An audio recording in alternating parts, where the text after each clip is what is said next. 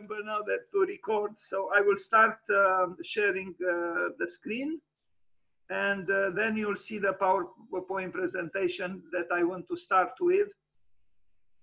I think it's very important to, to recall um, uh, to recall the Bauhaus. And uh, it's an uh, unending source of wonderment. I still think it's one of the most uh, remarkable educational adventures of humankind ever and I don't know why people are not more uh, reflective uh, on, uh, on its uh, great achievements. Because, you know, the Bauhaus had only, apparently, officially had only 70 uh, graduates or alumni, and it lasted for almost 14 years.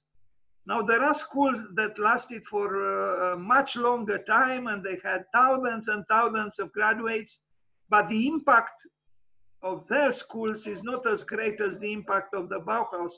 So the exceptionalism of, of the Bauhaus is uh, uh, beyond doubt. With such a small number of people and lasting for only at the most 14, 14 years, they, they changed the world. I, I don't think it's too bombastic uh, to say so. Okay, uh, let me begin from the current slide. So as I said, the Bauhaus uh, uh, lasted. You know, I have a problem with. Uh, ah, I have many problems. I don't. Anyway, uh, so it lasted for 14 years, and there were three periods from 1919 to 1928. Bau, uh, was led by Gropius. From 28 to 30 was led by uh, Hans Meyer and from 30 to 33 by Mies van der Rohe. This is the this was the manifesto of the of the of the Bauhaus, and uh, it is in German. I do not know German, but I translated. I have a translation in English, and what you see on the left is the the image that illustrated uh, graphically the ideal of Walter Gropius. And so, uh, and, and that woodcut was done by uh, Lyonel Feininger, a very interesting, uh, uh he was American, but uh, with German uh, ancestry. And there was, there was no other architect, as I said, at the Bauhaus does anyone know how to turn there is a i see on the screen this uh, little you know, note you are screen sharing. How could I remove that thing? Because I want to have a so-called perfect um, image. I don't know either. It sits on top right, and it's disturbing what you're seeing. Yeah, but I, I cannot uh, remove it. I don't know either. Sorry, Dan. And, and don't also, you know, it's uh, it's a few centimeters down. I mean, it's almost in it's unbelievable actually. Why is it not more discreet, you know? I don't understand. Okay, I, I, I managed to do something. Okay, so this is the Gropius Manifesto from 1919. And, um, oh no. Okay. Please allow me to read it because I think it's a very important document again, this thing popped up. It's unbelievable. Excessive automation is not good. So the, the ultimate aim uh, of all, pardon? Yes, you want to want the picture? I hear the, I hear a voice. Sure. Oh, sorry. sorry, I turned off the microphone. Okay, thank you. So the ultimate again, this thing is popping up. I don't know what to do. It's very disturbing. the ultimate aim of all creative activity is a building. The decoration of building was once the noblest function of fine arts. And fine arts were in, indispensable to great architecture.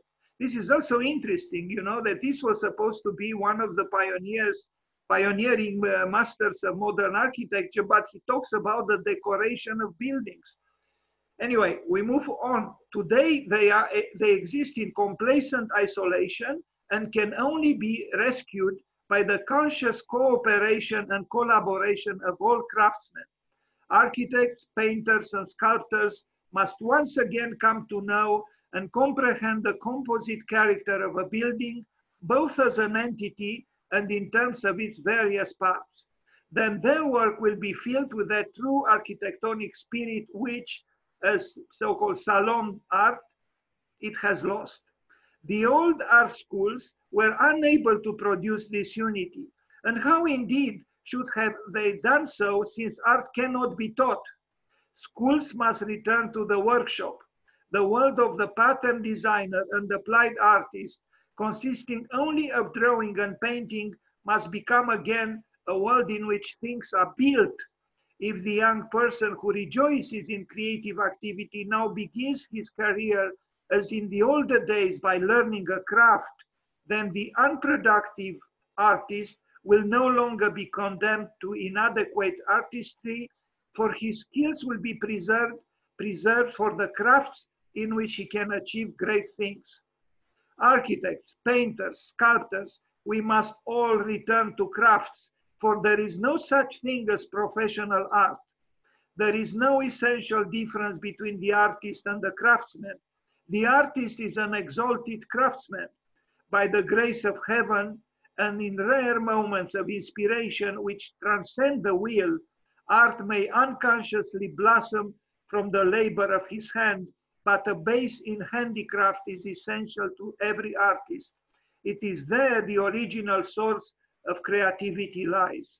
Let us therefore create a new guild of craftsmen without the class distinctions that raise an arrogant barrier between craftsmen and artists. Let us desire, conceive, and create the new building of the future together. It will combine architecture, sculpture, and painting in a single form, and, and will one day rise towards the heavens from the hands of a million workers as the crystalline symbol of a new and coming faith. Now, this is uh, an almost mythical, uh, mystical uh, text. It is certainly emotional, it is certainly exalted, it is certainly, uh, in part at least, uh, medieval in spirit, not modern. Anyway, uh, and, and strangely, it is often ignored. People, the, the many specialists on the Bauhaus ignore the very beginning. The very be beginning was had a spiritual side I mean, come on. Walter Gropius uses the word heavens and twice. And the last word of the manifesto is faith. Not to speak about the million workers and the crystalline building.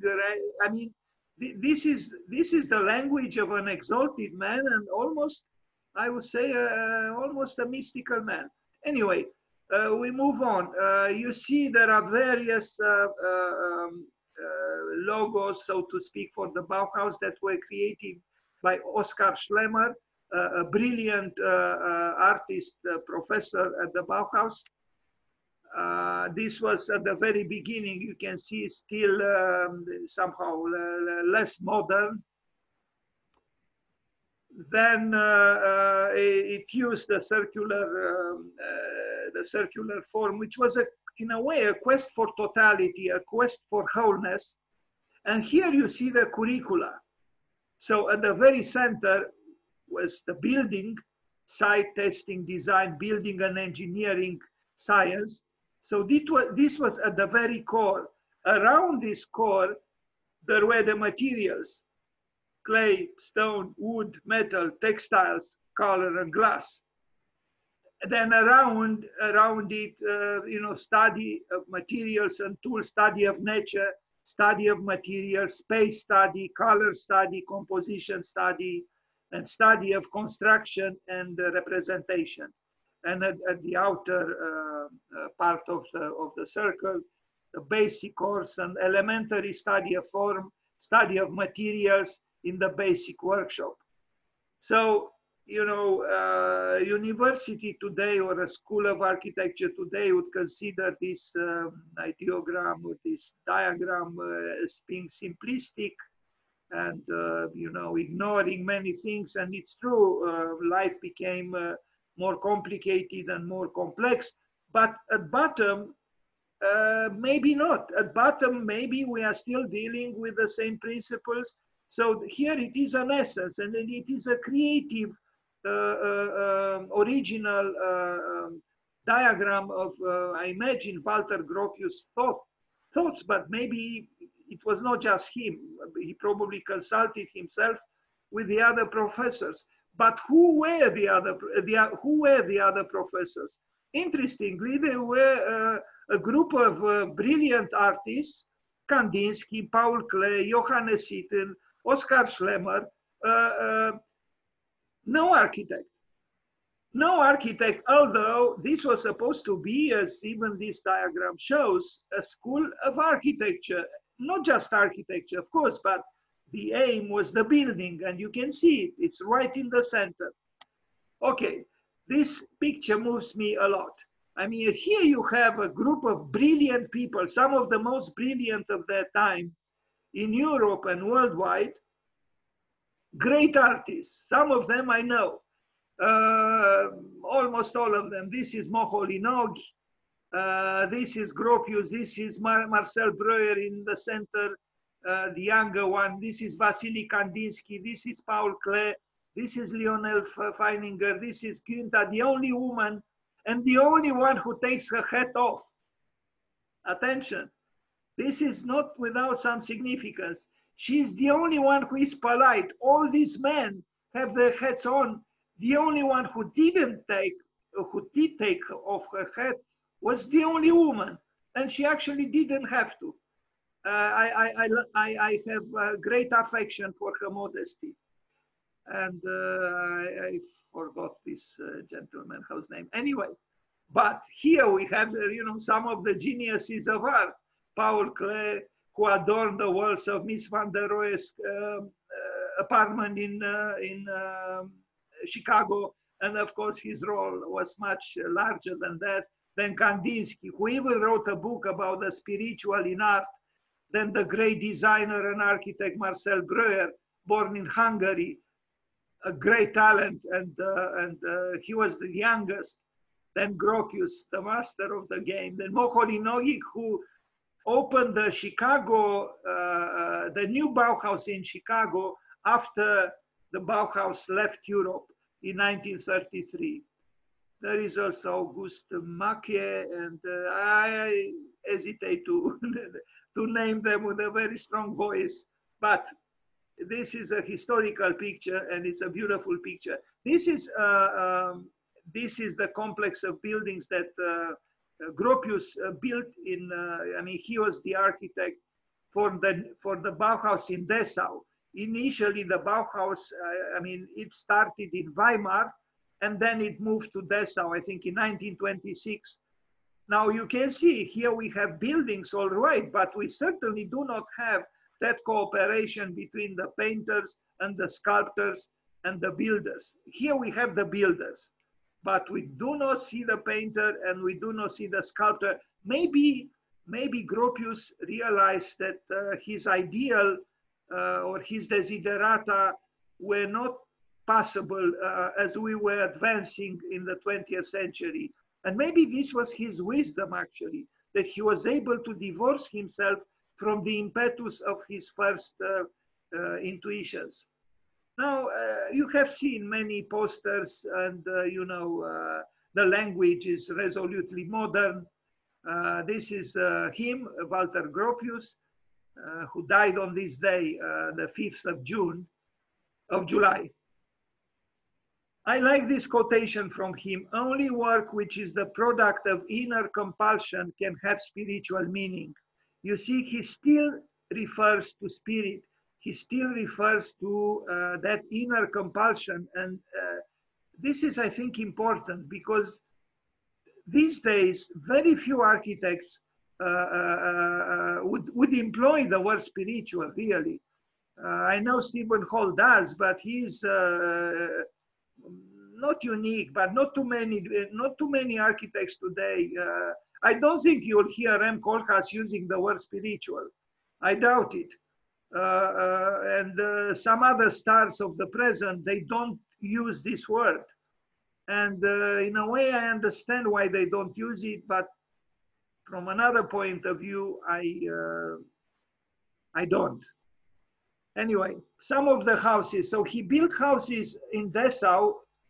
Now here is some another paradox in a way, and maybe a disturbing one. While while the school promoting some some kind of dilution or uh, uh, things uh, of, of, and uh, and um, uh, um yeah, a, a, deterioration of the of the barrier between masters and students. So they were kind of together, and sometimes the master was also a student, and the student then became a master.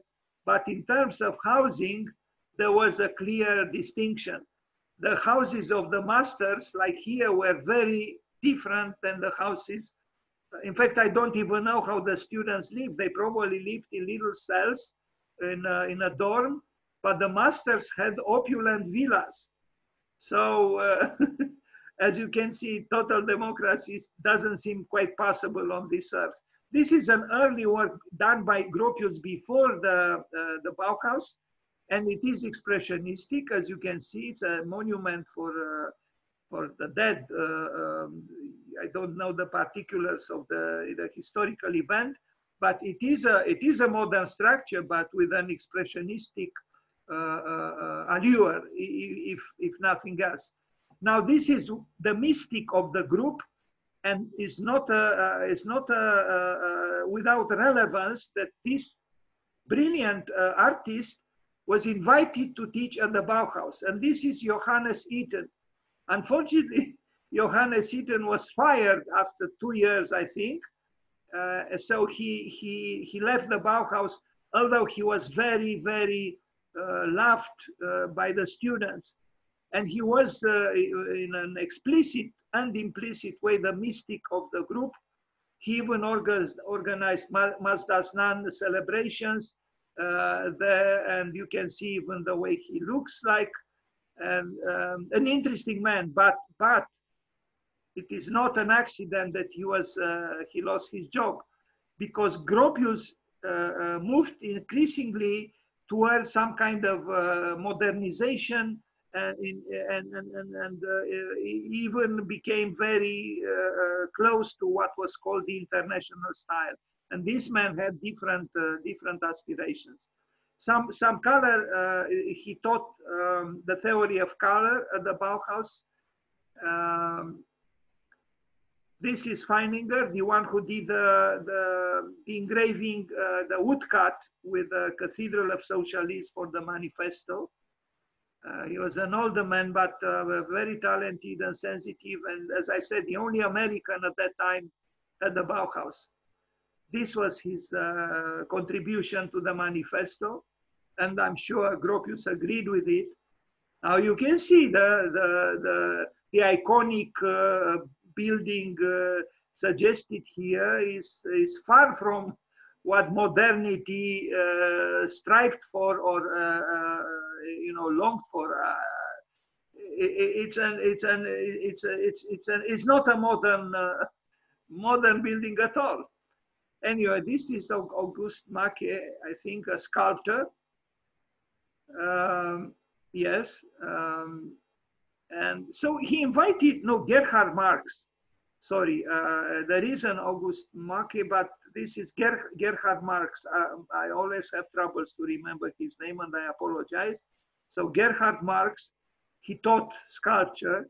Again, it is very interesting that the School of Architecture, or which was supposed to have a teach center architecture, there's only one architect there, and that was Gropius at that time. This is the prince, the Russian prince Vasily Kandinsky, a brilliant, important, very important uh, abstract uh, uh, artist. And you see a sample of his painting. One of the, the, very important modern artists of the 20th century. Then the, the poet of painting, of, of the, the poet of painters, the great Paul Klee, who painted very modest paintings, but very, very beautiful. And maybe a book has to be written, or it was already written, comparing him with Picasso. Very different uh, personalities, but uh, uh, I would say that Klee was in no way uh, inferior to Picasso. Uh, maybe you know Renzo Piano built a huge uh, museum for him unfortunately, personally, I think it's a little too big for, for such an intimate and delicate painter as, as Paul Klee. He died at 60. This is a painting by him. Uh, you can find on the web, uh, the, I think the Zine published his uh, notebooks. He was almost like a present day or modern days uh, Leonardo. Extremely interesting uh, notations for his courses at the Bauhaus uh, crossing frontiers between disciplines. He also loved music and, and, and uh, very intellectual, but not in a dry way. Uh, a, a, great mind, Paul Klee. This is Gunta Stölzl, uh, the, the teacher of, uh, of textile work, of the textiles workshop.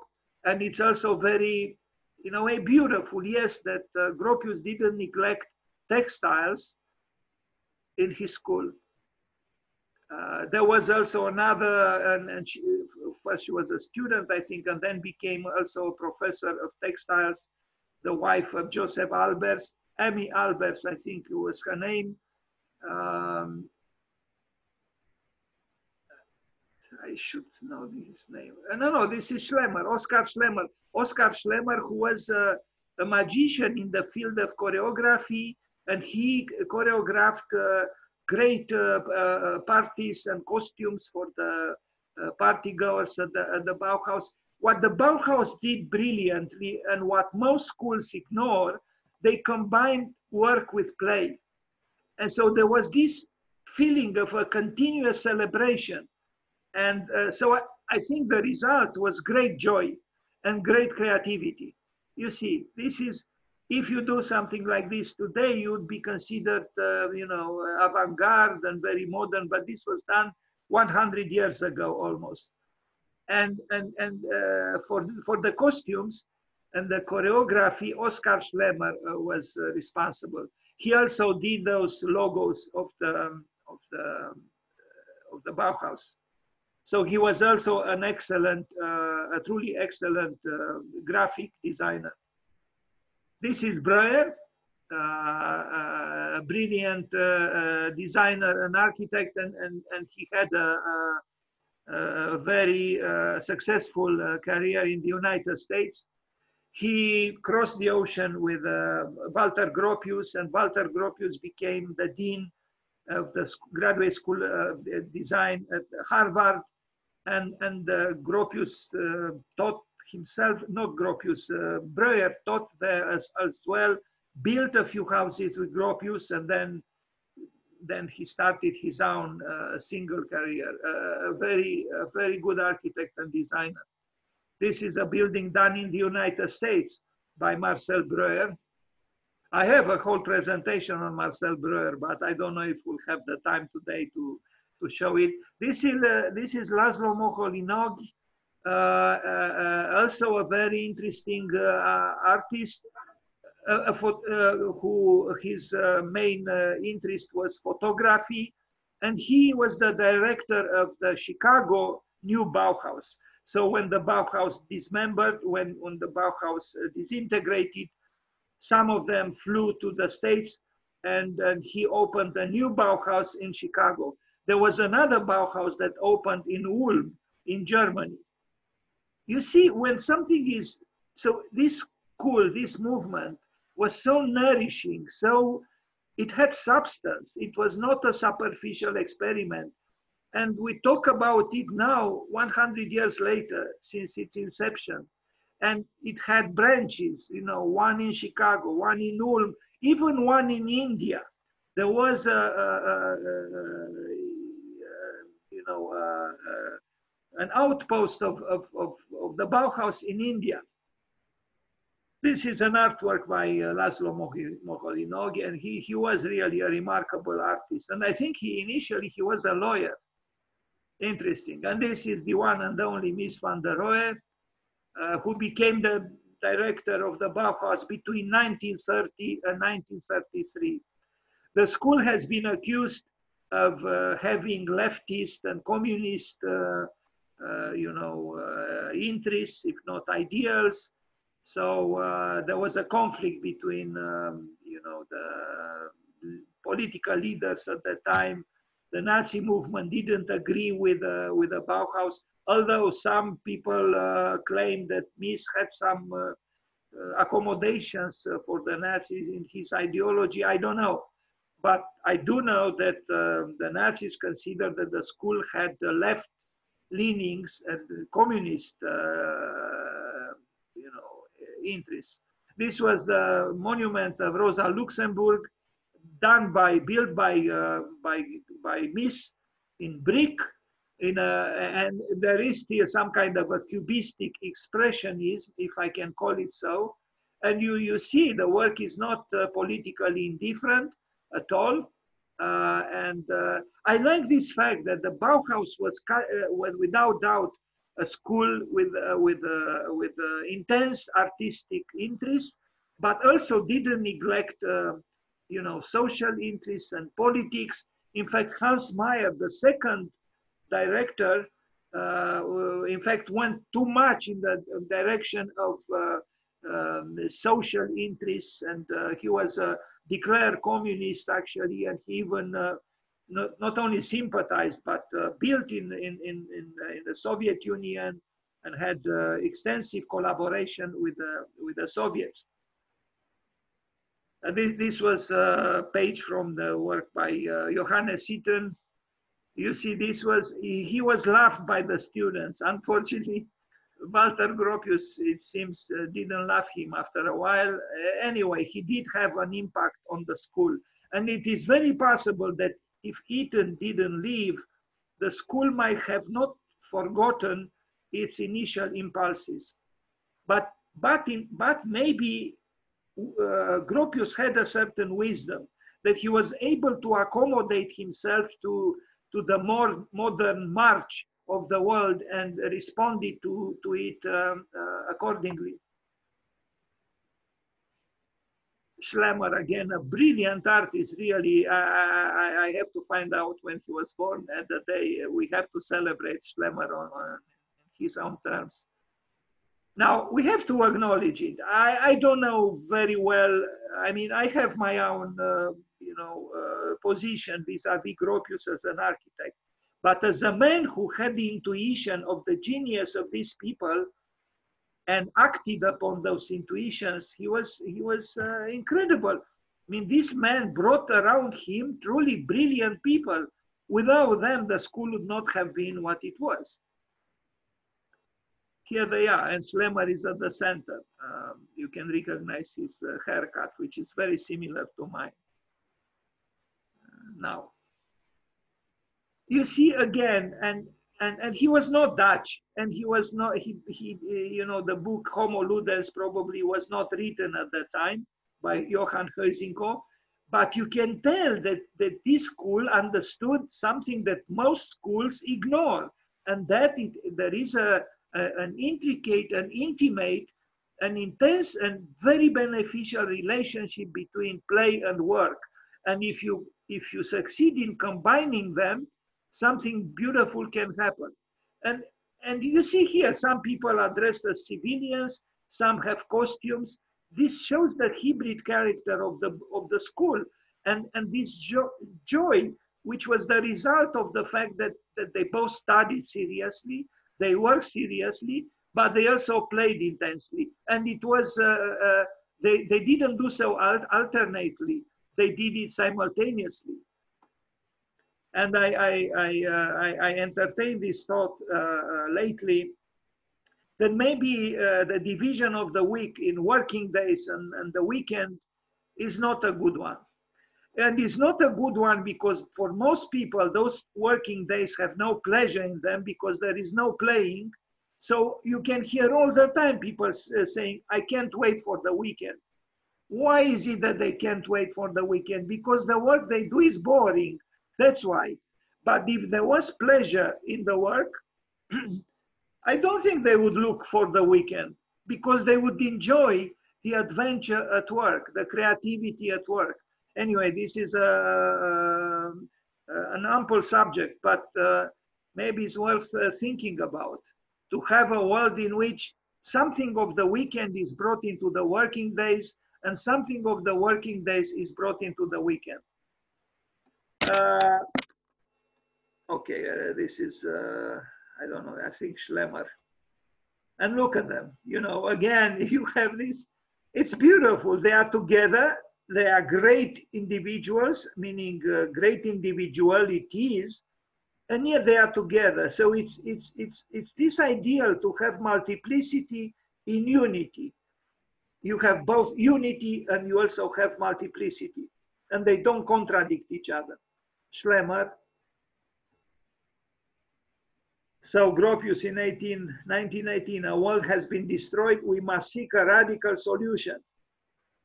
Uh, the final goal of all artistic activity is architecture uh, from the manifesto in 1919. But you see, he was looking for a radical solution. Of course, it was after the First World War, which was devastating.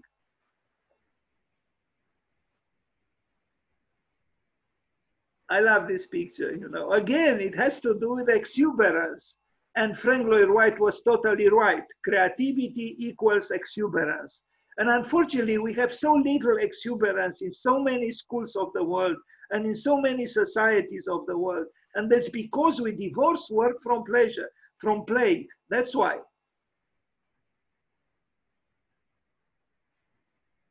They are not even afraid of the circus. Well, the circus, circus is, is part of life in a way. There is an implicit circus in even at uh, you know great uh, assemblies or great political uh, meetings and so on. You know, of course, I am a little bit malicious when I say this, but life does have it, as as it does have also the beast. As you can see here, there is a you know a suggested beast here in the in the, in the you know, in the center. Now, okay, uh, this is something else, and I will not continue with the Vienna uh, rebellious Vienna. Now I go to the second uh, presentation having to do with Gropius, and that is Hugo Häring and, uh, and Walter Gropius. I want to show you, in comparison with Gropius, an architect who actually opposed uh, Le Corbusier at the CIAM meetings and in a way, Hugo Häring uh, represented the repressed side of, of uh, Walter Gropius, that side that he uh, uh, moved away from. But I will talk more about Gropius, not about Hugo Häring. I will just mention him, uh, you know, a little bit because I think it's important to know these architects who are actually a little bit less known Hugo Häring is not so well known as, as Walter Gropius is. He, I mean, you know, the, the experts in architecture, of course, do know about him, but he didn't have the impact that Walter Gropius had. Yet, maybe he didn't have that impact exactly because he was a little bit resistant to uh, standardization, resistance to any kind of uh, approaching, you know, what was called uh, later the uh, um, you know, the uh, international style and remain true to his uh, organic aspirations and with a mellow kind of expressionism. okay, so let me go from here. slideshow from current slide. Okay. I have a book and I could send you gladly. I have it in uh, uh, you know PDF format uh, I will not read now because I actually don't like to read uh, during a presentation, but you can see the title, The House as an Organic Structure. Uh, this is the man, this is the architect, even his posture is, is, is, modest and reflective. There is this big book that you can, you can purchase it if you want. He was truly an excellent uh, uh, architect. I will go very quickly through him because today we, we, we pay homage to, to Gropius. But somehow Hugo Häring is connected a little bit, at least, with uh, uh, with the meanings uh, hidden or expressed openly in the manifesto by Walter Gropius. He was a very fine architect, and uh, and it's just a shame he's not uh, as as well known as some others. It is also interesting, as I said, that he opposed, he had the courage to oppose Le Corbusier at an important CIAM meeting. And uh, it might be that, uh, uh, you know, Florian and Daliana, uh, do you do you see here something connecting with your library? Totally. Yeah, of course, it's the Zollinger construction. Yes. it's it's very it's very obvious. Of course, we have used it a little bit because we didn't do it arching and use it as a reciprocal a reciprocal structural system.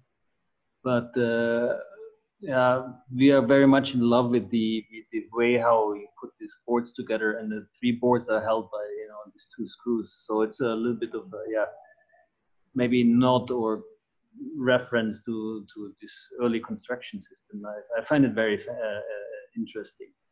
Yes. Aesthetically, also very pleasing. You know this wood and machine logic together. This uh, mixture of precision and, and yeah, the, the bolts, the machine within it, sort of the the old traditional uh, material, and then um, the engineering logic behind it. So uh, you see the architecture promoted and built by, by Hugo Häring is, is, is, is, is earthy, is organic, is, uh, is so different from the houses that Walter Gropius built. Although before the Bauhaus, and you'll see a few buildings by Gropius, he was building differently. And in fact, I saw today that there are actually two Walter Gropius. Uh, uh, is the one who still is connected with almost with the arts and crafts movement in a way, and uh, and then you have the modernistic uh, Gropius who, especially in the United States, became uh, uh almost totally divorced from what he did before the uh, before the Bauhaus. Now, this kind of image you cannot get from Walter Gropius.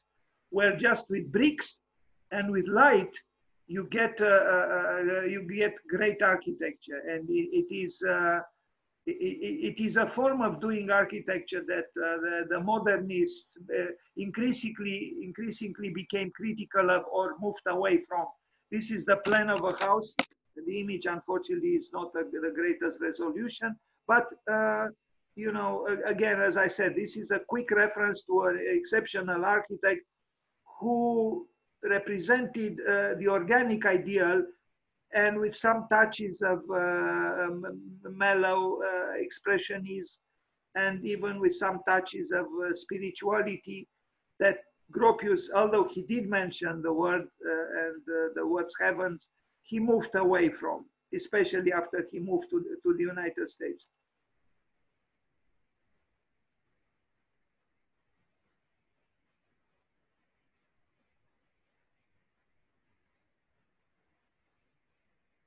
Please remember this image and then we, we, we arrive at the houses by Gropius, we'll realize what a difference. But again, initially, Gropius himself had some kind of, I think, uh, medieval uh, longings.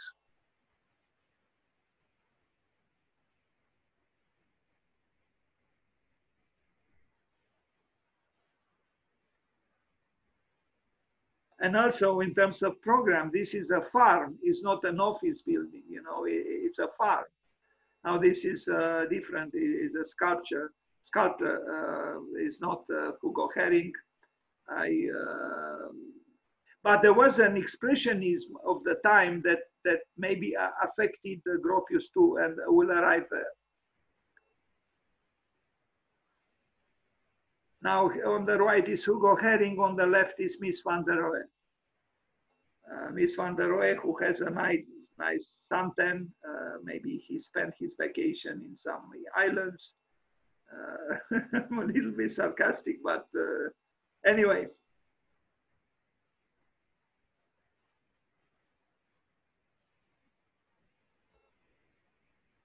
What's going on? Yeah, you see, even in terms of an office tower, Hugo Häring is quite different, both from, and we'll see the participation for the Chicago Tribune Tower of Walter Gropius, so very different from Hugo Häring.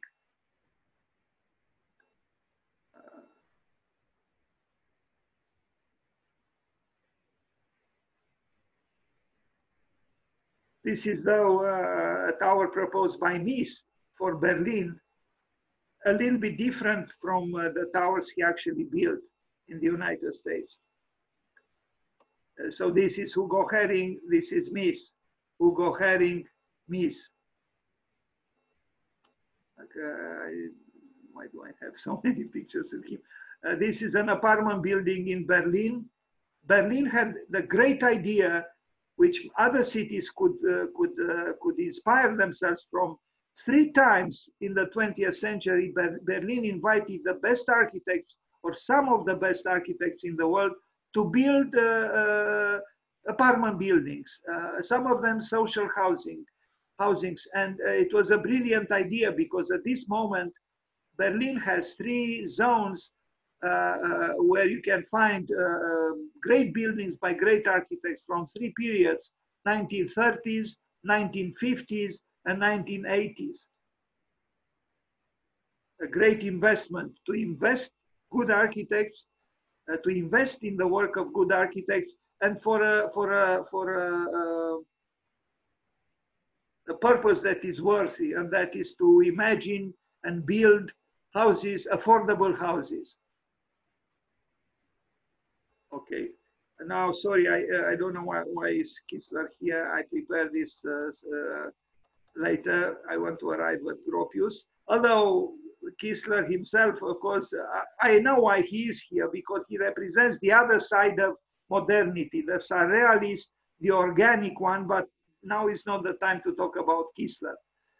Uh, so we arrive at Walter Gropius, and this will be just uh, another short introduction, and the last presentation, which will follow in a few minutes, will be dedicated solely to him. Uh, we saw the, the manifesto, we read the manifesto, we saw the um, uh, this, we saw the pictures, maybe the, uh, I didn't look, well, this picture you didn't yet see of him. He was a handsome man. He was even married once to a remarkable woman who was married to three geniuses. I'm talking about Alma Mahler. So she was married for a few years with Walter Gropius. She was married with a great composer, Gustav Mahler. And she also was married or had a very tumultuous relationship with, with uh, Oskar Kokoschka, the great uh, painter. What an incredible woman. Obviously, she was special if these three brilliant men all four for, fell for her. We saw this one, uh, the program of the Staatliche Bauhaus in Weimar. I'm not going to read it now. Uh, anyway, what I like about these people, and maybe we, we, we could do something to, to maybe something necessary for our time. There was a there was this belief that they could change the world and, uh, and I wonder, do we have such a belief today? Because I don't see it so much. The stars of today, some of them at least, are kind of shallow, you know, they, they build their star domes, but I don't see really uh, relevance uh, that, that makes it, I mean, their work is maybe interesting, aesthetically uh, provocative, but something is missing. I don't have the feeling that, that some of the architects today even some of the best architects today really want to better the world uh, uh, and not just better their own uh, career or their own uh, uh, uh, stardom. You know, I, think the modern movement before the Second World War had was not divorced from social aspirations, and I think that was a quality that early modernism had. This is a house he built before the uh, before the uh, the Bauhaus. Uh, he always worked. Apparently, he couldn't draw. Walter Gropius couldn't draw. One of the great masters of the 20th century architecture. It is said he couldn't draw, so he always worked with another architect. Here, he worked with Adolf Meyer, and uh, is a, is a very interesting uh, villa or house. How different from this one, no? you would say, wait a minute, this cannot be the same architect. But it's the same one. It's Walter Gropius. Uh, and here is again Walter Gropius, and it is his, his own house in the United States. Um, okay, we saw this one. he makes fun of the specialists. He obviously admires the generalists. Specialists are people who always repeat the same mistakes. But we live at a time obsessed with specialization. As you know, you know, we have so many countless specialists. And uh, it seems Gropius was rather sarcastic towards the specialists. If your contribution has been vital, there will always be somebody to pick up where you left off. And that will be your claim to immortality. anyway, I imagine he was thinking of his own immortality. But he's probably right. When uh, a certain action has vitality and meaning, it's possible that uh, it will be continued in, in one form or another. Our only, uh, we saw this one, uh, we saw this one. Uh, I like this quotation from him. Uh, it's amusing. The mind is like an umbrella it functions best when open. Now, many people uh, should know this quotation from Walter Gropius because the mind of many people is not at all like an umbrella, meaning it's not open or doesn't function uh, as an open umbrella does.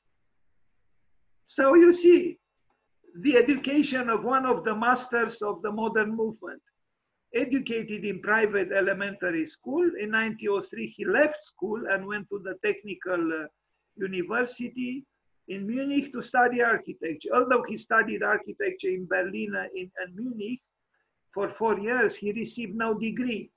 Gropius could not draw and was dependent on collaborators and partner, partner interpreters throughout his career. In school, an assistant is hired to complete his homework for him in 1904, 1905, he served in the military, then went back to school. In 1907, he left school without completion and went back to Berlin because of the death of his brother. Uh, famous quote Society needs a good image of itself. That is the job of an architect. The mind, is, we read this one. I'm not sure he's right when he said architecture begins where engineering ends, I, I, I, I debate that. Specialists are people, we read that, only work we read is the final goal, uh, we read that as well. So I guess he has about the same um, uh, quotations, uh, you know, that uh, repeat themselves. This is the complex of the Bauhaus buildings in Dessau that he built in 2000, in uh, 100, one, uh, 1926 when the school moved from Weimar to Dessau. This is a factory he built before the uh, before the Bauhaus. So he was, I think, 37 when he uh, founded the Bauhaus. This is an apartment building that he built in Germany in 1950 something, uh, and uh, on the same campus you can see a building by Alvar a building by uh, Oscar Niemeyer, a building by Bakema. Uh, is a great, great, great uh, uh, site to see early modernistic works in the field of, um, you know, uh, blocks of flats or uh, apartment buildings. Now, this is the Pan Am building. Well, it was initially called and belonged to Pan Am, the, the airline, but uh, I think the Pan Am ran out of business. I mean, was uh, bankrupt uh, and it doesn't exist any longer. So now it's MetLife. Some people don't like this building, but I don't think is is a is a bad addition to the complex and rich skyline of New York. You can see not far away Chrysler building.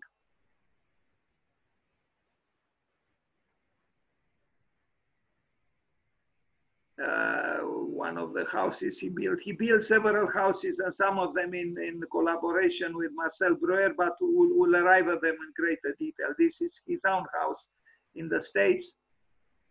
Uh, he was able to build several houses for himself. So I think he was doing approximately well. Here he is with the other master, uh, Le Corbusier. Both dropped out, uh, drop, how do you say, dropouts from school. I mean, Le Corbusier didn't, didn't even drop out. He didn't bother to, to start the School of Architecture to begin with. I sometimes wonder, sometimes really wonder, do we really need schools of architecture? Really? I mean, it seems some of the masters, I mean, it seems architecture, who is supposed to become an architect will become doesn't matter what.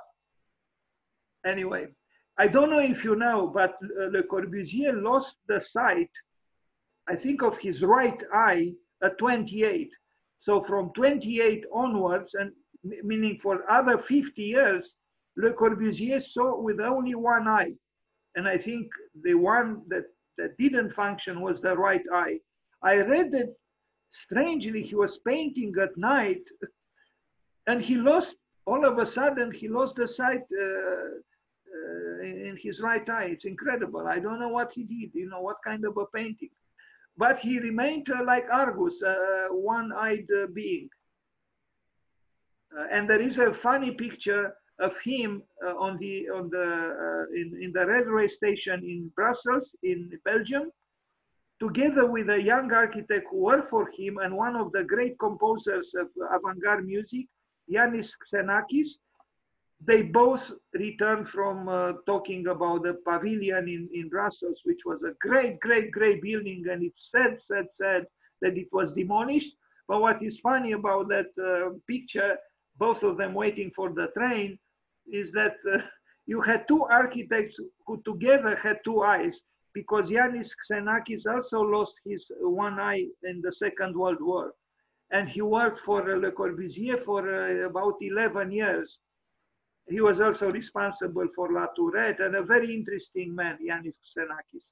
Anyway, back to back to Gropius and his own villa, but we'll, we'll uh, this is just a collage of some images.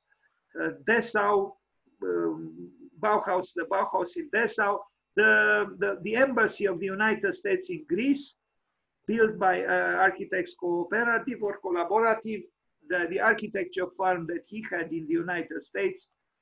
I don't think his works uh, were so great, really. Uh, some of them are okay, but I, I, I, I think, uh, I think what he did, even this embassy is a little bit uh, too much of a so-called embassy, I think, too regular, too, I don't know.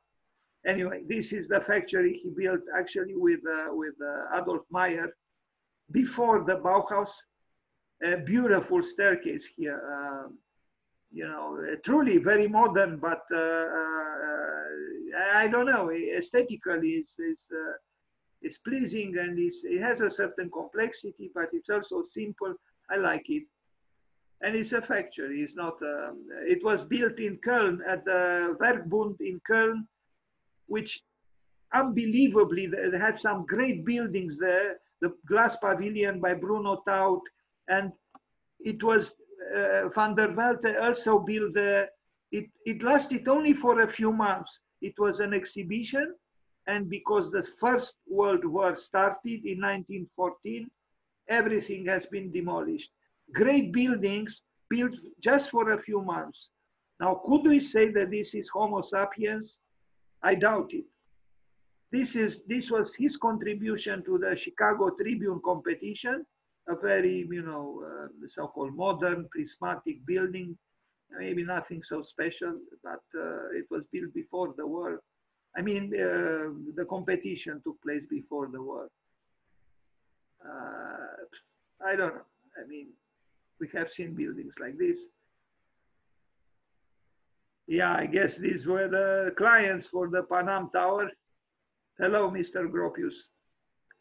Hello, Mr. Gropius. You love bow ties. Well, many architects love bow, bow ties. Uh, it's something unresistible, irresistible about bow ties. Um, and some like even suspenders, like uh, Peter Eisenman.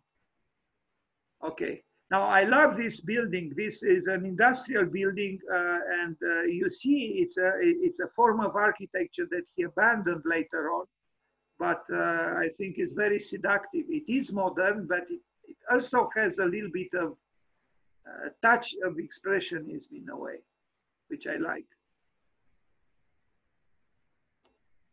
Okay, we saw this one, we saw this one, we saw the apartment building, we saw the, this was an, another embassy, but I don't think it was built. Could it be that it was in Baghdad? It's possible. Now we, we look at this image uh, again. When I when I said that they were playful, this image shows it. You know, uh, with the students at the Bauhaus. This is beautiful. These people were adults, of course, but there was something of, of, of, a child in all of them, and and, and, and, and I think human beings are their best when the, the inner child uh, uh, uh, manifests itself. And unfortunately, society is very good at, at, at, uh, at um, inhibiting that, that child. And when society doesn't do it, we do it because of fear, because of reticence, because of I don't know what. But Friedrich Nietzsche was right, I think, when he said, and I said this before, and allow me to say it again he understood, Nietzsche understood correctly that without creativity and without that child, I mean, without the child, we, we, we cannot truly arrive at creativity. When he said that the human being needs three transformations first, the camel carrying heavy weights, meaning the study, the, the heavy work, the, you know, absorbing knowledge and going through errors and trials. And so at, begin, at the beginning, you are a camel and then you want to assert your freedom and you want power and you become a lion, said Nietzsche. But even then, you are not happy because you have power, you are the king or the queen of the jungle, but you have no creativity. So he suggested that the last transformation should be from the from the lion to the child, because the child recreates the world and the child asks the questions and has curiosity and he has innocence and ingenuity. And I, I, I believe it's, it is so. And what I see here, I see the students at the Bauhaus being childlike or children-like. Look, even here, you know, they are children, you know, I mean, these structures, they are ludic structures, really. Maybe I idealize them. But this is a drawing by Johannes Itten that perplexed me. It's called The House of the White Man. And I wonder if he was not sarcastic because after all, what's so great about the voice of the, high, the white man as he depicts it? You know, I think he was sarcastic. I don't know. Um, again, playing. okay, playing, play, play because you were great school. And I'm sure you learned greatly. You studied greatly because you were free, you were playful, you enjoy yourselves uh, Bauhaus, Bauhaus, architect. We, we, we read this in the manifesto. Uh, now look, on the other hand, what Philip Johnson said, architects are pretty much high-class whores. We can turn down projects the way they can turn down some clients, but we both got to say yes to someone if we want to stay in business. I don't know. This is Philip Johnson. But we'll talk about uh, I, don't know why. I have some quotations from various architects here about architecture, but uh, I don't know uh, if we should read them now. But I do like this one by Johnson. I hate vacations. If you can build buildings, why sit on the beach? well, Mr. Johnson, not everybody has uh, your connections. Not everybody receives uh, commissions to build uh, buildings or skyscrapers. So I guess we have to sit on the beach sometimes. And this is Herman Hertzberger. And about Herman Hertzberger, we'll talk tomorrow, meaning Alexandra Krivets, an architect from London. Uh, she will uh, make a presentation on Herman Hertzberger tomorrow. And I will make one about another great Dutch architect, Dudok, uh, so tomorrow we'll have the chance to, to, to contemplate, to see the works of two very important Dutch architects. The Dutch continue, continue to amaze me with, uh, how many great architects they had and have. And he's right. If you think you can't make the world a better place with your work, at least make sure you don't make it worse. Correct. Anyway, we saw this, this we saw it. Ah, I'm glad I, I have here because I can talk a little bit about Hans Meyer, who followed Gropius as the director of the Bauhaus, but he was dismissed after two years because I think he was a little bit too much of a social worker. I think it is good for an architect to be a social worker, but not too much. He was, and uh, even the way he wrote. But he was an interesting man. And I'm not reading this, but I can send you these uh, manifestos. I have a beautiful book called Programs and Manifestos in Modern Architecture.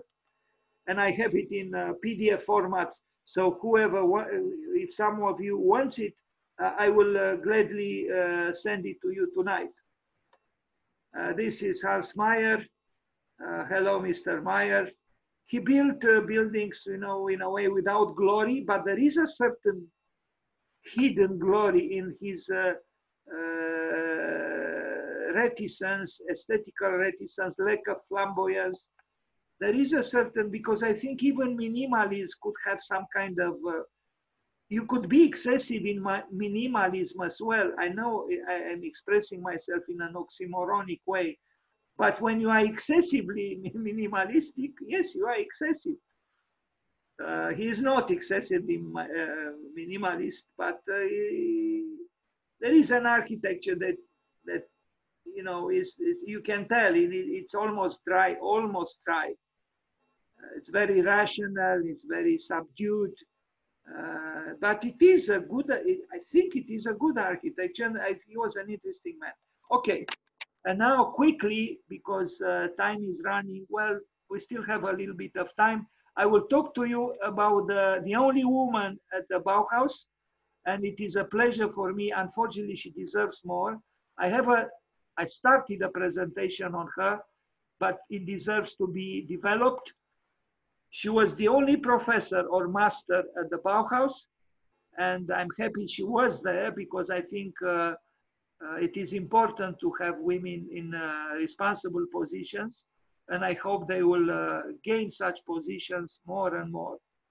And by the way, I read that the countries that were led by women did better with the pandemic than the countries led by men. I don't know, but I read this. And the first example was New Zealand. Homage to Gunta Stölzl. Uh, I'm not very sure I pronounce the name properly, but I tried. She was without doubt a, a brilliant woman. And uh, she, I will never forget, Gunta, that you took your hat off surrounded by men who didn't take their hats off. Okay, she was a creator. She was an artist and a brilliant. Uh, she, uh, here she is in her older age, working with uh, weaving, with the textiles, and she did some very fine works. In fact, Gropius had in his office uh, a tapestry by her uh, and uh, looked great. In fact, I think without that tapestry, his office would have looked looked less less warm. Tapestries bring warmth, of course, to, to, to any environment. And after this, just as a, some kind of a parenthesis, you will see some tapestries done by Le Corbusier, brilliant tapestries. We neglect this, that he also did great tapestries, and you'll see some of them after we, uh, we look a little bit at the works of Gunta Stölzl.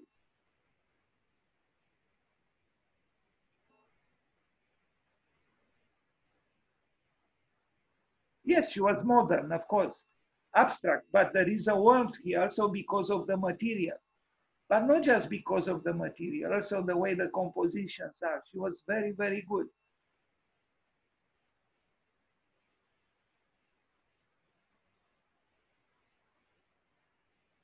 There she is between Marcel Breuer on the left and Oskar Schlemmer, who finally took his hat off uh, on, uh, well, on her right is Marcel Breuer, but in the picture on the left and on the other side is uh, Schlemmer. Then with the eyeglasses, uh, Kandinsky. Then standing up is Gropius. And that's about it that I can recognize. She looks happy. And of course she had reasons to be happy with, the, with the, such brilliant colleagues who probably respected her and valued her. Bravo to her. Okay, so you see, this is the office of the master, uh, Walter Gropius. Maybe she did even the rug, I don't know. A nice tall uh, office. okay, so now you'll see some tapestries by, by Le Corbusier. And, and unfortunately, when we think of Le Corbusier, we neglect that he also did uh, uh, painting and sculpture, and even more that he did tapestries, and some are brilliant. I mean, brilliant, also with brilliant colors, using brilliant colors. Uh, there are books published with his tapestries. Uh,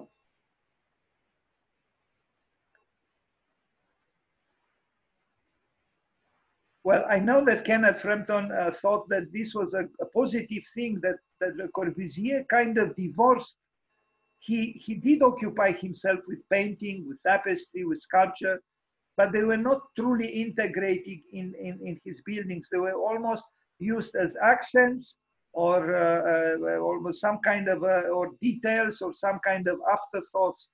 So, in a way, although he was an artist as well, he didn't bring together the artist and the architect in a conjunction of the kind suggested by Gropius in his manifesto. Maybe, maybe this is the strategy that is correct for modernity. I don't know. That's why I said that manifesto to me was rather medieval in its uh, longings and aspirations than, than, uh, uh, than modern. Now, of course, it looks great, but when you look at it, the building has almost nothing to do with the tapestry, and the tapestry has nothing to do with the building.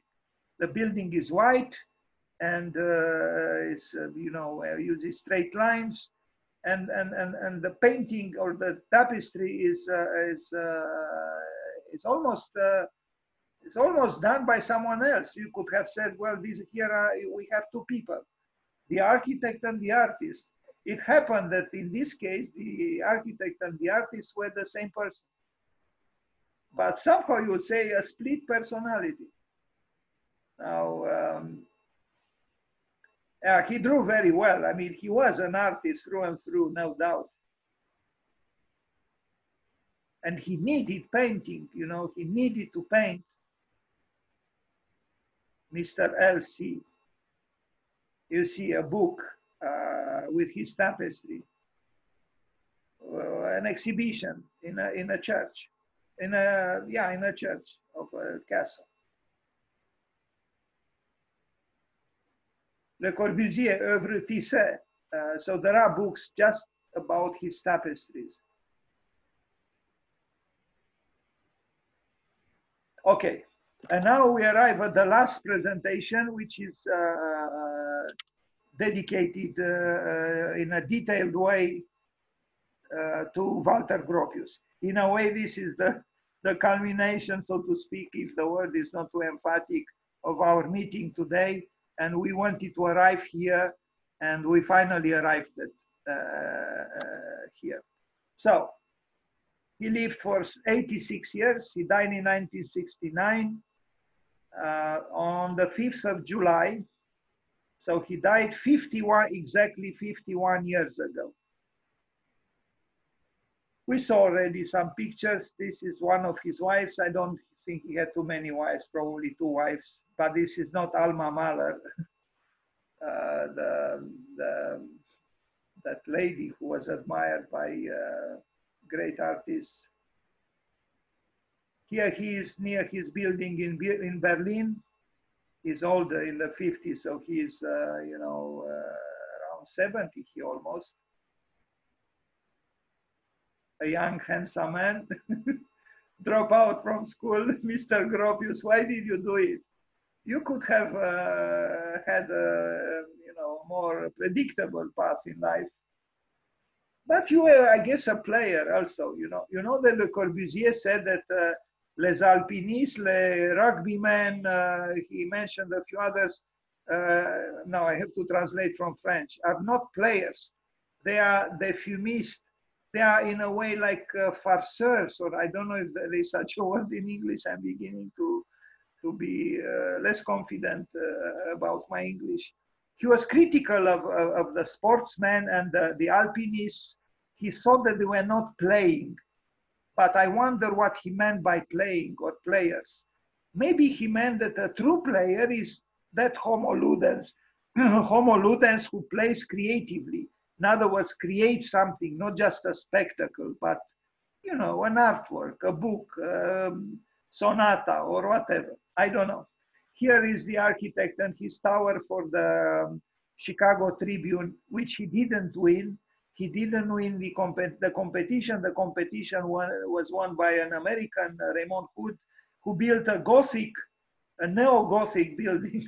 you see, the new world, the brave new world that Aldous Huxley wrote about, chose a neo-Gothic building didn't choose the modern building, the brave new world building that Gropius envisioned. You can even say he's kind of sad. He probably knew at that time that he didn't win and he's melancholy and sad. It's okay, Mr. Gropius. Uh, life is tough. I like this picture. You can, it's almost like it reminds me of uh, uh, a scene in Persona by uh, Ingmar Bergman, where he superimposed uh, two halves of two people and created a face out of two people. Here you almost have a feeling that, and I actually think because I, yesterday when I was preparing this material, I even uh, named one of my messages hom homage, homage to Gropius 01 and Gropius 02. I actually think he had a duality in him and it's shown in his works until, uh, until Bauhaus and after the Bauhaus. And this face, in this face, I kind of see two people, unless I am totally uh, wrong. But uh, anyway, not so much here. But I like him. He's uh, clearly. I mean, can you imagine? We are we are dealing here with one of the major architects of the 20th century, who had as employees, so to speak, people like Kandinsky or Paul Klee or Oskar Schlemmer or Lyonel Feininger or Johannes Itten so he was he was spoiled with incredible, uh, you know, uh, proximities, you know, with great artists around him, and he deserved them, of course. Bravo, Mr. Gropius. Now drawings by him. I, I, I, I, I read here that he didn't draw. Uh, so that's why he, he always worked with another architect. Uh, now, we don't know if this was done by his hand or someone working with him. but even so, it seems a little bit elementary and, uh, you know, hesitant in a way. Competition entry for the Palace of the Soviets in Moscow in 1931. Of course, all these architects uh, participated in such competitions, uh, Le Corbusier as well. Le Corbusier participated here participated for the, uh, the organization of the, the, United Nations in, in New York and participated for the, uh, uh, for the building in, in Geneva in, in, Switzerland. And he, he lost all three of them. Uh, in some cases, like uh, in, in New York, I think he lost, or in Switzerland, in Switzerland, he lost because he didn't use the right ink, the prescribed ink uh, for rendering his drawings in uh, New York, he probably felt he was robbed uh, because his ideas have been uh, recycled and used by uh, Harrison and Abramovitz and, uh, you know, mingled with ideas from Oscar Niemeyer. Anyway, there, there were other architects involved. And in Russia, in Soviet Union, the, the chosen project that the people chose was uh, some kind of um, classicist melodrama. Again, isn't it paradoxical that here you have the Soviet Union now building the new, generating the new man, you know, the gloriously new, fresh uh, uh, uh, human being, but they actually chose for their palace, the palace of the Soviets, a, a classicist building with nothing new, certainly not fresh, certainly not revolutionary. And exactly the same mistake did the Americans. The capitalists in, in Chicago chose uh, a building that was neo-Gothic. so, so there you have it.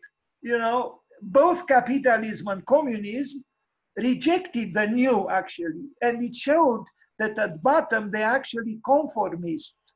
And this is something really worth uh, talking about and thinking about and exploring. These societies that claim some kind of uh, uh, you know, uh, exceptionalism. Uh, at bottom, they actually banal. anyway, I will stop here about this, but it is a very interesting subject to me.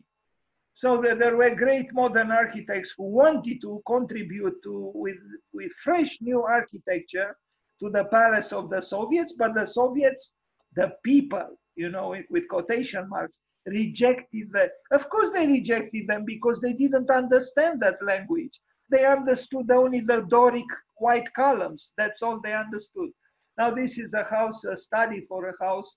I don't know who did the drawing, but seems quite uh, delicate and uh, refined. Uh, this one we saw. This is this is the, his project for Moscow, and of course, artists in general are naive politically. Le Corbusier was naive. Uh, uh, uh, Gropius was naive.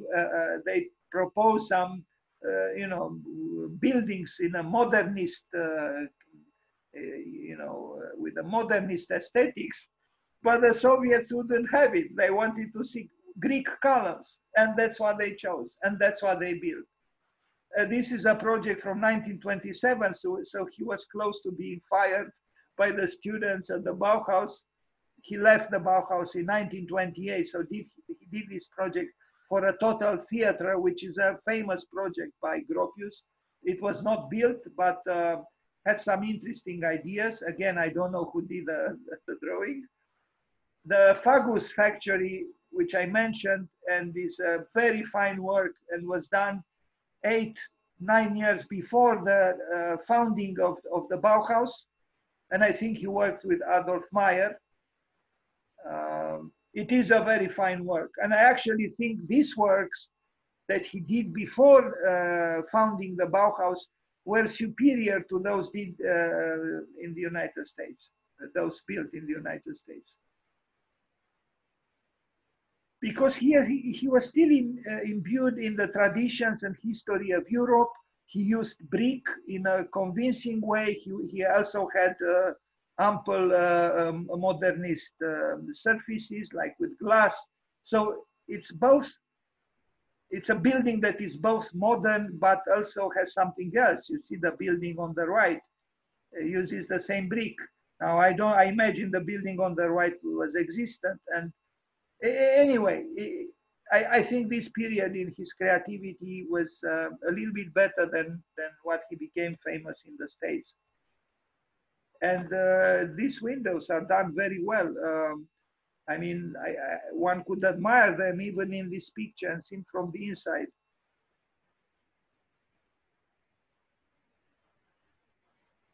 Nineteen fourteen. Uh, I mentioned the Werkbund exhibition, which lasted for a few months. Hello, Mr. Uh, Homo sapiens. So you work hard, you invite great architects, and you destroy their works in a few months. This is true wisdom indeed and wasn't just Gropius here, was Bruno Taut of uh, van de Velde and uh, others. Very sad, but it's a great building by Gropius here. How could they destroy something like this? It's beyond me.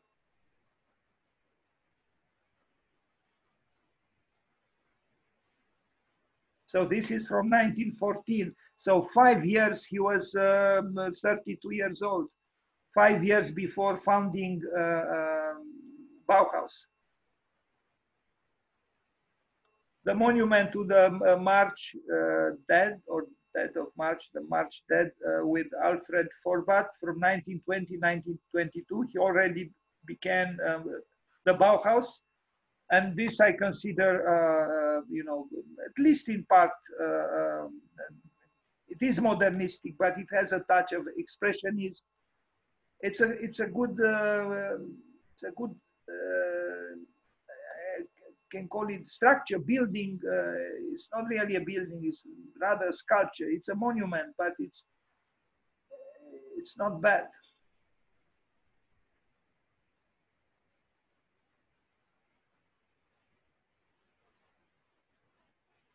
Uh, you might even say has some touch of futurism in it, you know.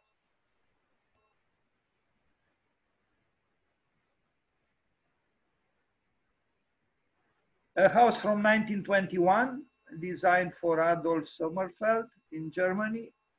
This is the one that you saw before, and I hope I have here images of details inside. This is an interesting house. Um, and it, it is immersed in a way. It has a connection with the traditions of the place, with the German uh, uh,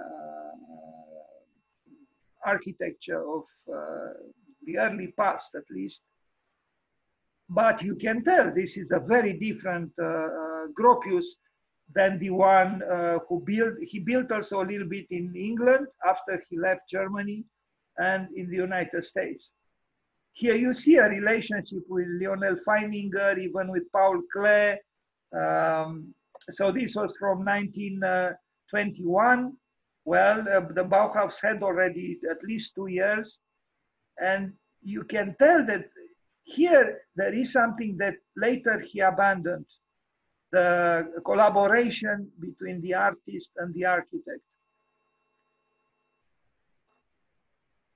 And the interior is, is medieval in spirit. You know, it's, it's, uh, this is not a modern building. I look at the, so here he was, he was still somehow respecting his own words and his own thoughts and his own intuitions expressed in the Bauhaus Manifesto. But this was abandoned, and maybe his success was also a result of the fact that he abandoned this path. But maybe also his failure to an extent. I don't know, it, it, it's worthy of, of asking the question. Now, in 1922, he took part in the Chicago Tribune Tower. And can you imagine? So he did this house, right? And then this was from 1921. And one year later, something happened to Gropius between 1921 and 1922. And then in 1922, so just one year later, he does this. Can you believe it? That's why I'm saying here we have a, you know uh, modern um, psychoanalysis. I, I, would would probably call this case uh, bipolar personality. I mean, how could you how could you do something like this, and then one year later, maybe even less than one year later, you do this? I am joking a little bit, but not totally. Uh, the, the, the, the difference is dramatic. Funnily, maybe he, if you would have kept the aesthetics and the spirit of that house that we showed before this one, maybe he would have won. or maybe he was an opportunist. He knew he would propose it for Chicago, for the new world. So he proposed a new tower, but he didn't win it because the because the the new world wanted new old architecture, not new architecture. I hope I have an image here with a building that won and was built. Yes, the one on the left was built. You see?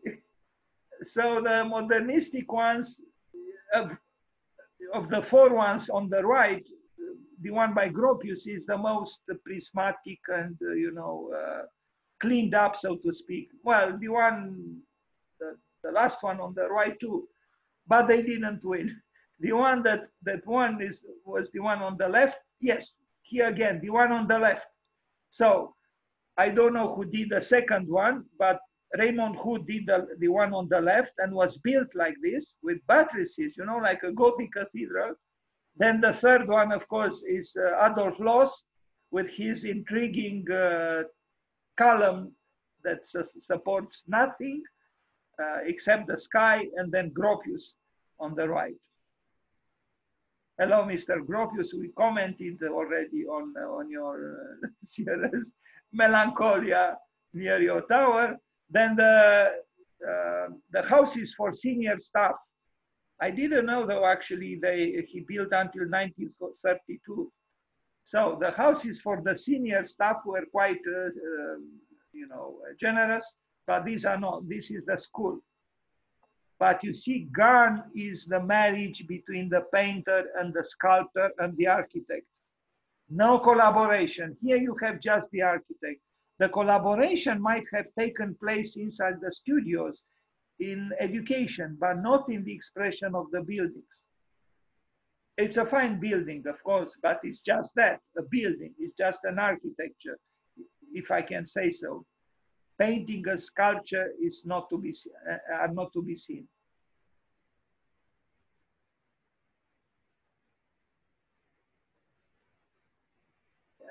I regret and I don't know if I have here pictures with a, a, building in Weimar where the Bauhaus was until 1926, so for seven years, which was built actually by uh, van de Velde,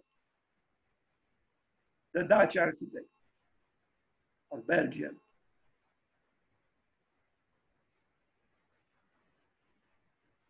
Now, some houses, we saw already some images, you know, uh, again, very different from that house from 1921. They are white, they are uh, large, and there is a certain dynamic, uh, the dynamics of the space. Um, but the, the architectural language is, is, is, is removed from any kind of nostalgia, so connection with, with, uh, with history or the past and maybe based on such houses, he's considered a pioneering uh, uh, master uh, of modernist architecture.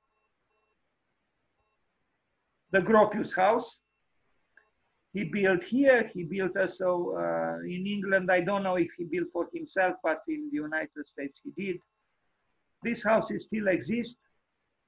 Uh, this one for Muche Schlemmer, so uh, my uh, my artist of choice, Schlemmer, lived here. They are very large houses. Yes, two masters lived here, but uh, I don't know where they had the funds from. They were doing well, obviously.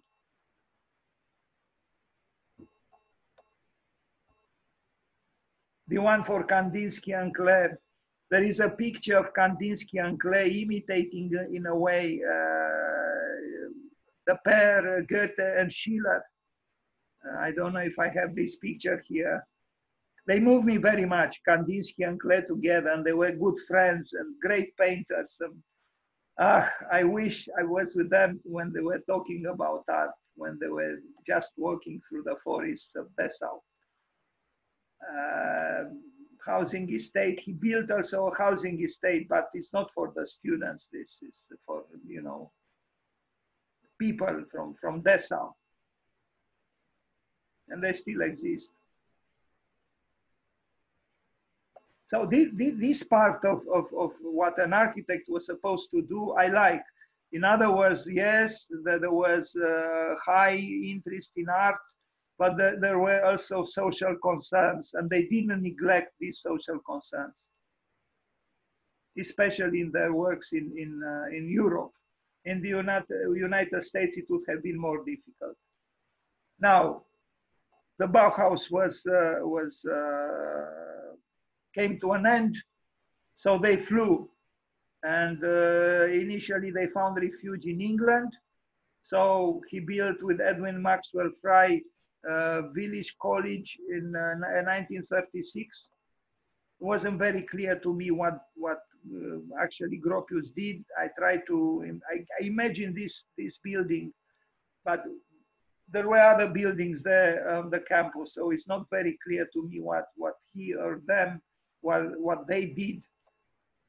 Well, when you look at the plan, we realize that yes, it's, it's, it's this, uh, this building. Well, he was established already. You know, he he uh, he was a 50 years old uh, architect who was already famous because he founded uh, uh the Bauhaus, and uh, so he received commissions immediately after he arrived in England. A house, uh, also in England, or several houses. Uh, here so I was a little bit confused, but I, maybe this whole uh, complex of buildings was done by him in association with that British architect who himself is uh, has a certain importance, uh, Mr. Fry. And now they cross the ocean and they build a Gropius house in Lincoln, Massachusetts. So Gropius became the director, the dean of the School of Design at Harvard and he was for about 15 years, I think, in that position. And uh, I think he was helped by Marcel Breuer to build this house. Or there is another house. Of that one, I'm absolutely sure. I don't know about this one, but considering that he never worked alone, Mr. Gropius, it's possible that um, if not Gropius, someone else uh, helped him with this house as well. It's a fine house, and I, I, I like especially the, the entrance with this uh, canopy that is uh, a little bit uh, removed from the main facade and at an, uh, at an angle. A slight discreet touch of expressionism, you know, modernistic expressionism, so to speak. Otherwise, the language is resolutely modern, almost in an austere way. It must have been nice to sit on that armchair, you know, near that uh, glass wall and contemplate the nature and then go to work to, to lead uh, such a school as the Harvard uh, Graduate School of Design. Not bad. Not too many reasons for despair or pessimism. And probably there were some great books in that library. Uh, anyway, life can also be good. and for some people, it is.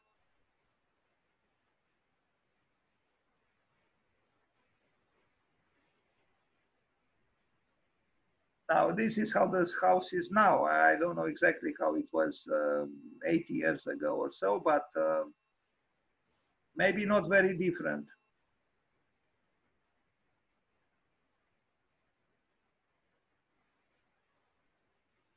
In uh, Pennsylvania, this one he built with Marcel Breuer, and uh, it's, it's, it's a good house.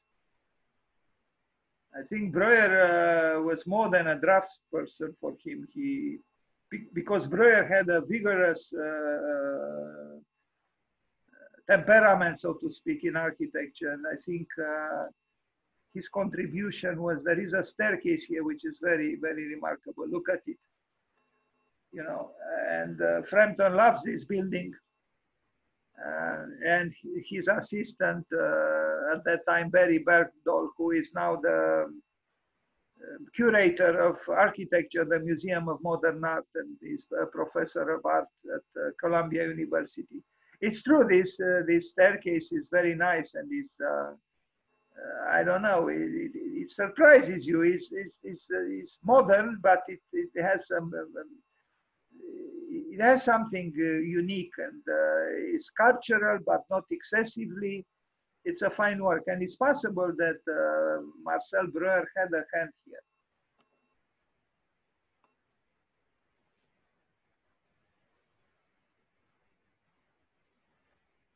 And you can see the, the construction of the stair uh, is not uh, without interest, you know, the, it's a good work. Because a, a, a, stair is always an event architecturally in a building. And here, uh, the eventfulness of the stair is, uh, is uh, discreetly enhanced, so to speak, uh, through uh, a little more sculpturalness, if I can say so, through the materials. The forms are uh, interesting. So I think they, they did what they had to do. And even the house, the, the, the, the stair outside itself, I hope to have another image, is very interesting. Yes, it is an event in the uh, in the organism named house. Uh, this is an event, and it is supposed to be an event. And even the dog seems to like it. I mean, even it it turns its back on it, but uh, it is said, I read somewhere that where a dog likes to sleep, it, there is home. A dog feels where a home is. Is there where a dog likes to sleep.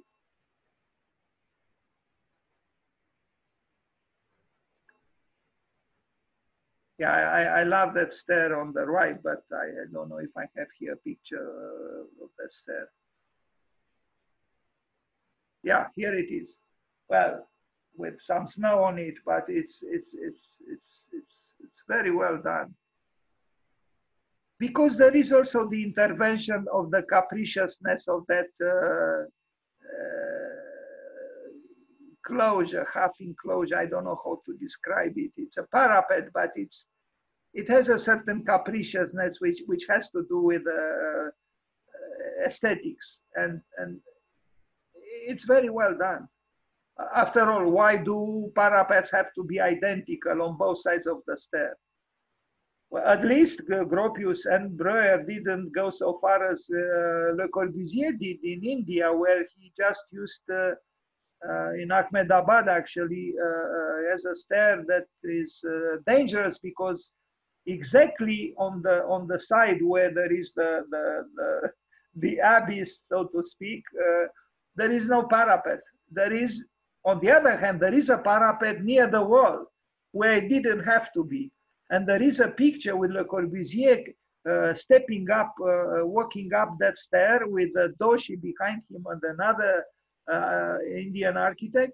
And I had a feeling that Doshi and the other architect were ready to protect the master because the master also looked, I don't have that picture here, unfortunately, but it's an amusing picture because Le Corbusier was afraid, it seemed in that picture, of his own creation, not to fall on the side of the stair because there was no parapet. anyway, the Harvard Graduate Center from 1949-1950 in Cambridge. This was his office. That's how it was called, Architects Collaborative.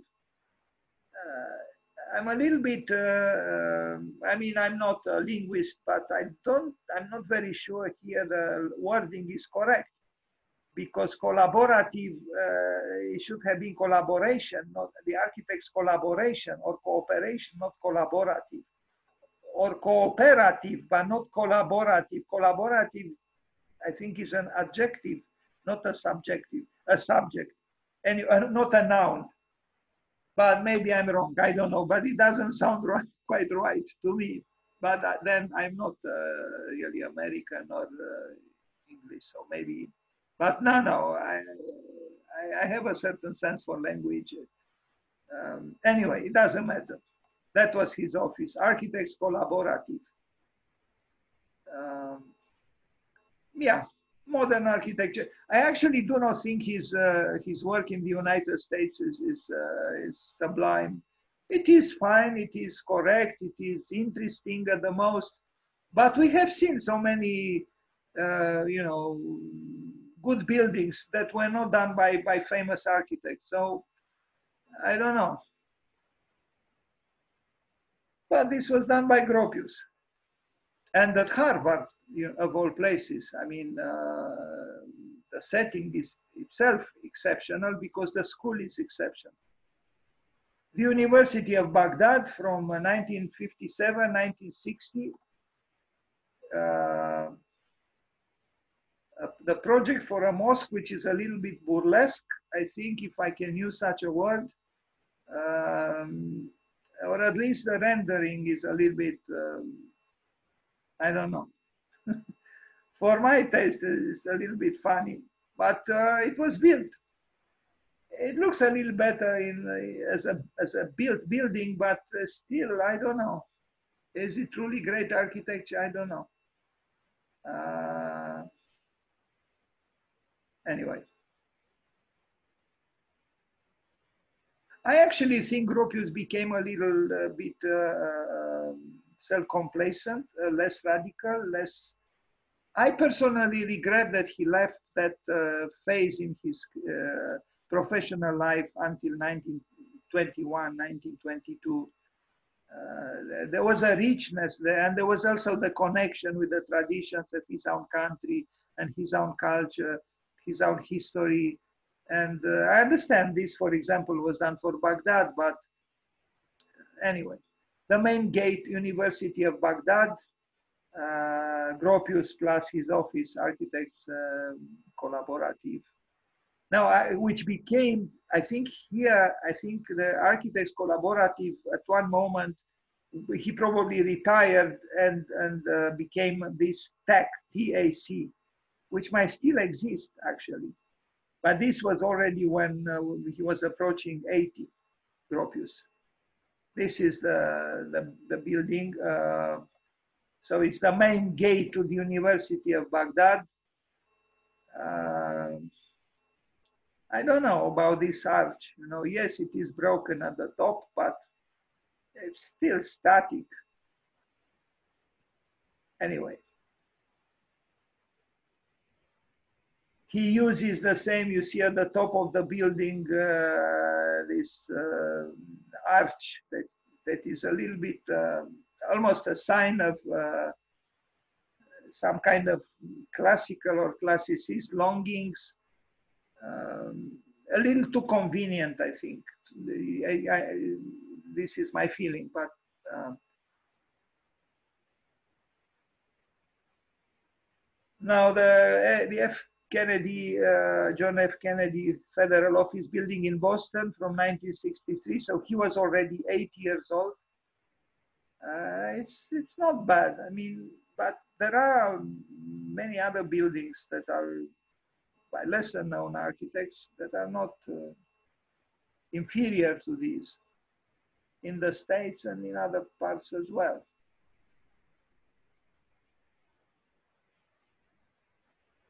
But you wonder when you look at these buildings, what happened to the man who wrote that manifesto in 1919? Maybe he was wise enough, lucid enough to realize that that ideal for him then couldn't be followed through. And so he adapted himself to a modernity that came, uh, uh, you know, not ferociously, but with great vitality and intensity and energy over the world, including his own world. Now, a junior high school, this was from uh, earlier 1948. Uh, it's not very clear to me again what he did here. Uh, but I mean, here I see some post postmodern postmodern uh, elements that I don't think belong to him. I, I, I like to think they, they, don't belong to him. Um, these these are lesser known works, and I, I they surprised me when I uh, discovered them. And anyway, uh, this is a house in Provincetown in Massachusetts by his architecture office. Uh,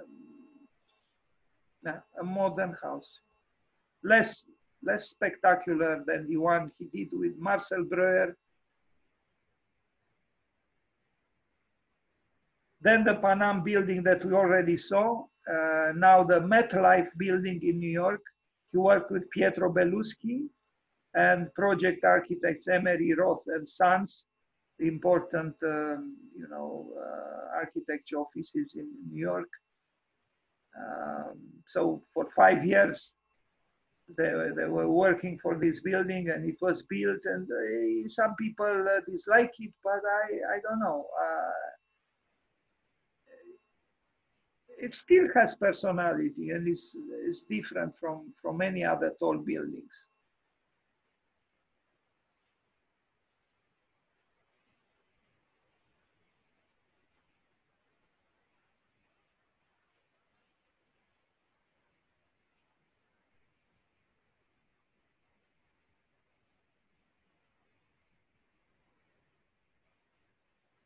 Now, we arrive at that apartment building, uh, that block of flats that he built in 1957 in Berlin. And I, I, truly suggest to you, if you arrive in Berlin, if the pandemic ends and we can uh, travel again, to, to visit these Interbau uh, apartment blocks uh, because there are great buildings there.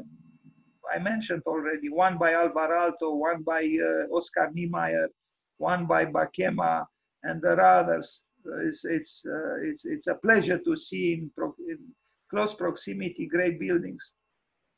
But this was done by Walter Gropius. Uh, at least here we have some color and uh, move the, you know, the dynamics of, of, of the curved lines.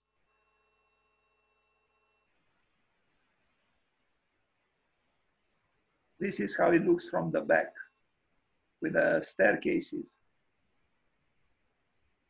and the plans.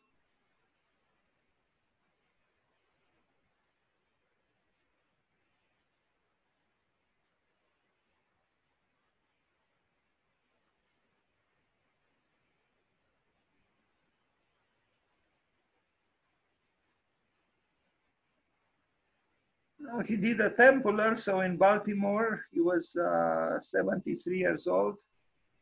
I personally, personally, don't have uh, great enthusiasm about uh, using these these arches. You know, these. Um, uh, I, I, find find them a little bit too static and uh, placidly so. And uh, even if I can say something like this in, in relation with the temple, a little conveniently bourgeois and uh, this architectural classicism, even though with the appearance of modernity, uh, doesn't show to me you know, great emotion. It shows to me more like dogma.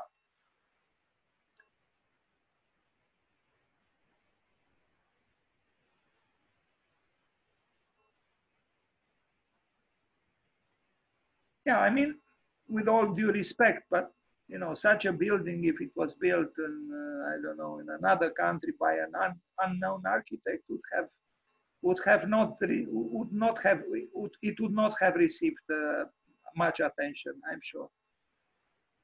Although this facade is, uh, you know, has a certain, but that is still static, and I don't know.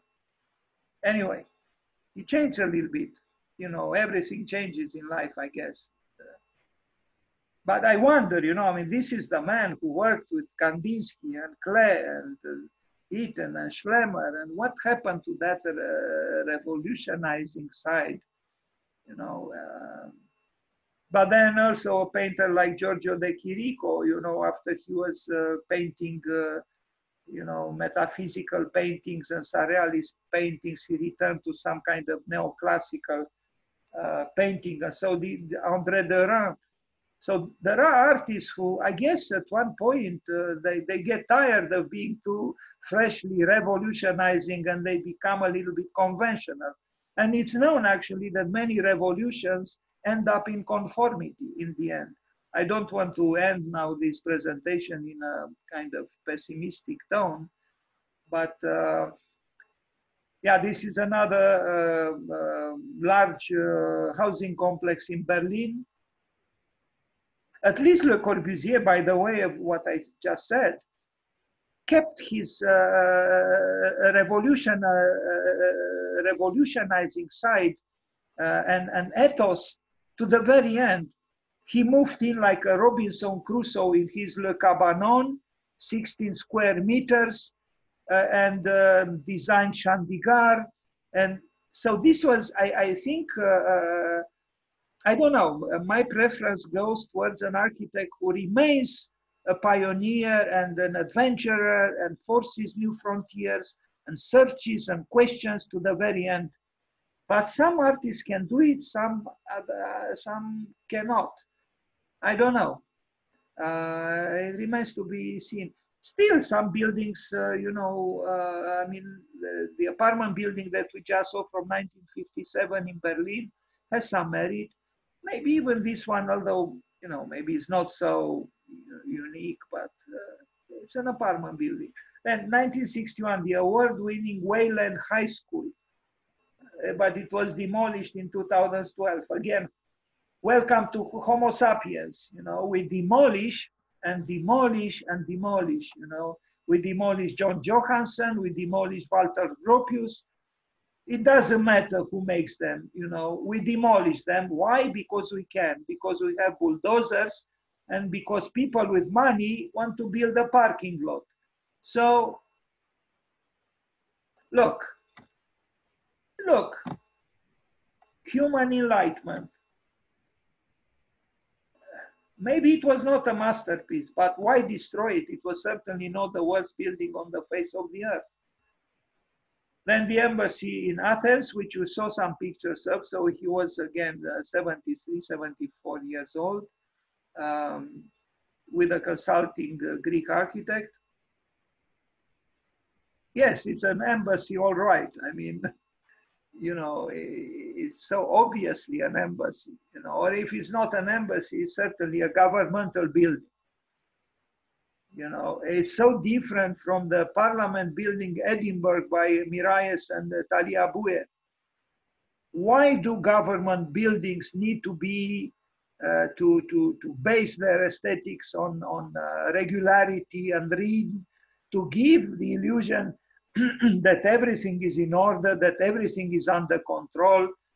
Uh, I don't think this is really needed, but uh, so it is this conventional side. Maybe he, he couldn't do otherwise in this case, but this makes me think with some sadness about the projects that he himself lost in uh, Soviet Union and Le Corbusier lost also in Soviet Union and Switzerland and uh, New York, where you have very creative, had very creative architects lose commissions because they show a creativity that is a little bit unconventional. And but all creativity has to be, at least to an extent, unconventional. At least this is my belief. Anyway, this is the embassy in Athens. It's a correct building, but is it enough for a building to be correct? I don't know. I personally don't think so. Now here I am confused. I have to tell you, I do not know. I found this information that he did a glass cathedral. I think he,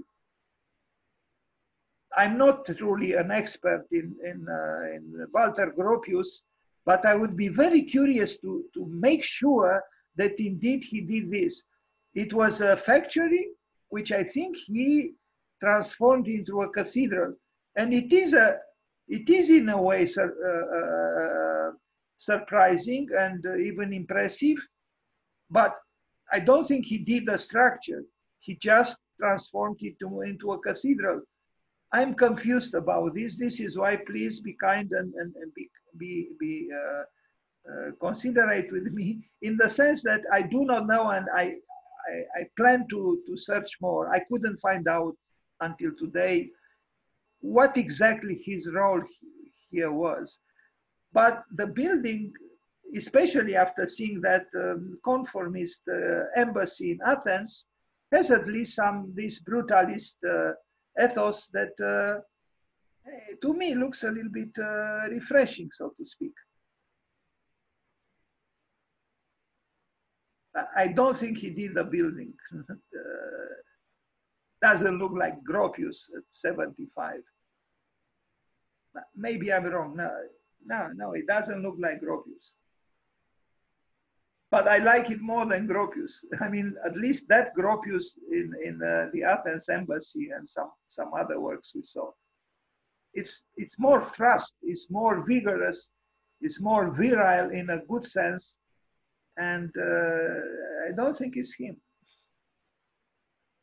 It's also huge, as you can see. But I like the, the fact that this platform, you know, is elevated a little bit from the earth and uh, it's an interesting building. I, I, was surprised when I discovered it. I never knew that this was, that Gropius had some participation here and I'm still not sure what it consisted of or in.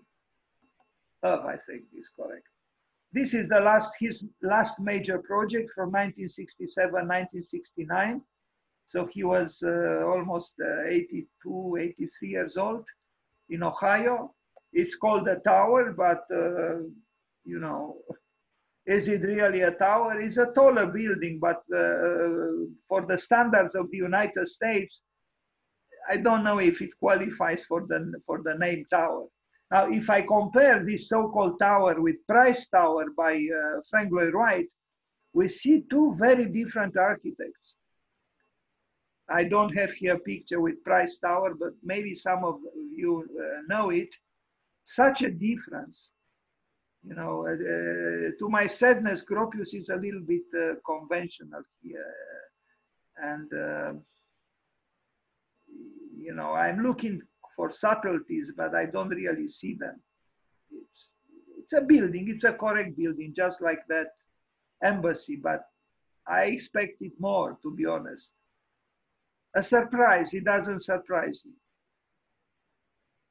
So, uh, expanded with Gropius addition from 1970, so he was 83 years old. a little alteration to the original structure. Only American Art Museum to be brought to completion using a Gropius design. I'm confused because again, I, it's not very clear to me what he did here. Uh, I, I, think it, it, just an expansion, but uh, what exactly that expansion is, I imagine the part on the right, um, it's not, I don't know. I mean, this is the old museum, and then he added uh, what is hidden by the trees there. anyway, uh, yeah, this part on the right. Okay. Uh, there are many architectures kind of like this. It's, it doesn't seem to me uh, pioneering in any way, but and from 1970 1980, uh, well, in 1980, he didn't live. This was built posthumously. Apparently, the biggest, the largest holiday resort in Europe at that time in Greece, and maybe we, we should all uh, take the plane to there because I know I read that people uh, go to Greece now because they have less pandemic. So maybe we can go directly to Chalkidiki at Porto Carras in Greece and uh, it was built based on his designs, but we don't know to what extent his design was respected. It's big, all right. It's, you know, resort uh, architecture, resort hotel. Um, yeah, I, this is the last building that I show because it's the last that was built based on his designs to an extent, I believe only to an extent after his death. He died in 1969. So this was built, you know, started four years after he died.